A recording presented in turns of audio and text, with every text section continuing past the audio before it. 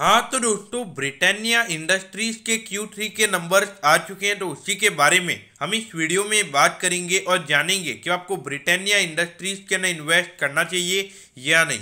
चलिए शुरू करते हैं।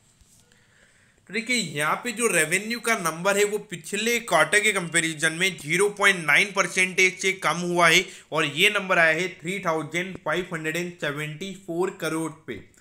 लेकिन जो प्रॉफिटेबिलिटी है वो तीन परसेंटेज से गिरी है और ये नंबर यहाँ पे 369 करोड़ पे आया है। तो यहाँ पर अगर हम देखेंगे तो क्वार्टरली बेसिस का जो परफॉर्मेंस है वो हमें यहाँ पे थोड़ा सा अंडर परफॉर्मिंग लग रहा है। लेकिन अगर हम ईयर ऑन ईयर बेसिस की बात करेंगे तो वहाँ पे रेवेन्यू का नंबर 12 परसेंटेज से बड़ा है और ये नंबर 3,574 करोड़ पे आया है। लेकिन जो प्रॉफिटेबिलिटी है, वो 18 परसेंटेज से गिरी है और इसका नंबर 369 करोड़ पे आया है। तो यहाँ पर अगर हम देखेंगे तो जो 18 परसेंट का नेट प्रॉफिट का नंबर गिरा है, उसके पीछे का रीजन है जो लगातार रॉ मटेरियल की कॉस्ट बढ़ रही है, उसकी वजह से ये नेट प्रॉफिट का नंबर गिरा है।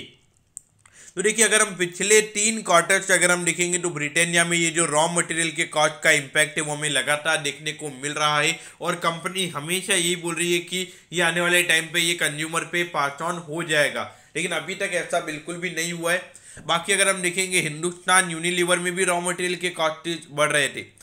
लेकिन वहाँ पर उन्होंने जो कंज्यूमर थे, उन्हें पास ऑन कर दिया था और वहाँ पे लगभग 18 परसेंट की हमें ईयर ऑन ईयर बेसिस पे नेट प्रॉफिट में ग्रोथ देखने को मिली थी। तो यहाँ पर अगर देखा जाए तो उस कंपैरिजन में अगर हम देखेंगे तो ब्रिटानिया ने यहाँ पे बहुत ही बड़ा डिसअपॉइंटमेंट अपने शेयर होल्डर्स को दिया है। तो देखिए, यहाँ पर जो रिज़ल्ट कंपनी के आए हैं, मुझे लगता है कि शॉर्ट टर्म में मार्केट काफ़ी नेगेटिव वे में इस रिज़ल्ट पे रिएक्ट करेगा। तो शॉर्ट टर्म के लिए बिल्कुल भी बाय यहाँ पे नहीं करना चाहिए। लेकिन अगर हम बात करेंगे लॉन्ग टर्म इन्वेस्टर्स की तो देखिए, यहाँ पर अगर आपको इन्वेस्ट करना है और अच्छा करेक्शन होता भी है तो मेरे ख्याल से आपकी रिटर्न एक्सपेक्टेशन या तो हाइएस्ट सिंगल डिजिट या फिर लोअर डबल डिजिट साइड में आपके रिटर्न एक्सपेक्टेशन होने चाहिए। उससे ज़्यादा आपकी रिटर्न एक्सपेक्टेशन ब्रिटानिया से नहीं होनी चाहिए। क्योंकि यहाँ पर एक फास्ट ग्रोइंग कंपनी नहीं है, ये एक स्लो ग्रोइंग कंपनी है तो वहाँ पे आपके रिटर्न एक्सपेक्टेशन भी नॉर्मल ही होनी चाहिए।